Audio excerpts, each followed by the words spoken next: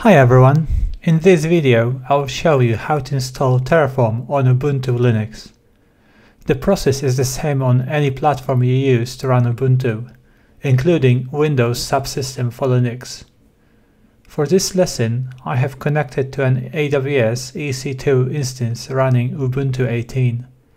In order for us to install Terraform on it, we need to open a browser go to terraform.io, go to downloads, scroll down and look for Linux. Then copy the link, come back to our terminal and download it.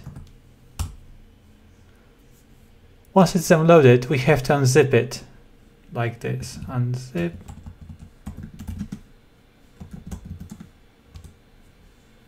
In case you do not have unzip installed, you can install it by entering this command.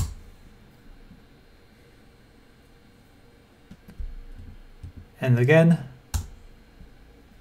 unzip. Okay.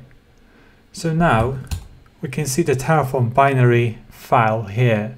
We have to run chmod to give it appropriate permissions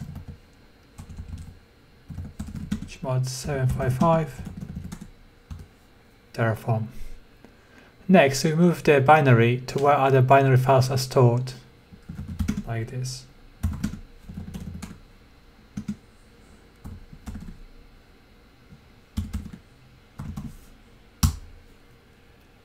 And with this done, we can now use Terraform from anywhere on our Ubuntu machine.